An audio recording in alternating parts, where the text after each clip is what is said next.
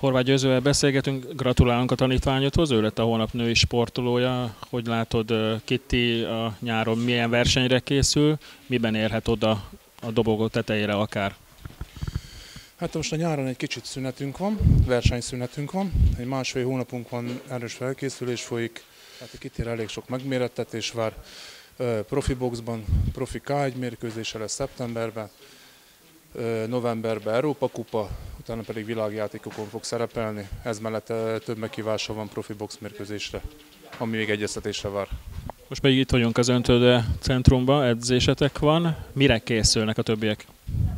Szeptembertől lesz nagyüzem, az lehető összes verseny, ami Európában lesz, elindulunk. Minden. Hetente, két hetente. Úgy néz ki, hogy összeállt így a kép. A lányok nagyon erősek, minél több versenyre szeretném őket vinni. Igazából most nem az eredmény a lényeg, vagyis hát dehogy nem, de a lényeg az, hogy versenyezni tanuljanak meg. Ez a fő. Utána jöhet minden. Semmi Team edzőtermében vagyunk, Kolompár Kittivel beszélgetünk, és az első szó gratulációi. Június hónapban a szavazataink alapján telette a hónap sportolója. Mit szólsz ez az elismeréshez?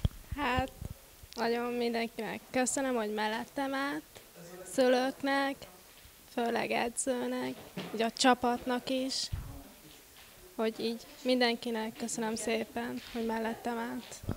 Mi Kitti, mi az, amiben még fejlődnöd kellene? Miben vagy erős, és miben érzed azt, hogy még javulnod kellene?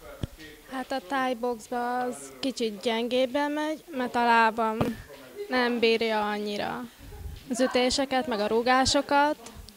A boxba az meg jól megy.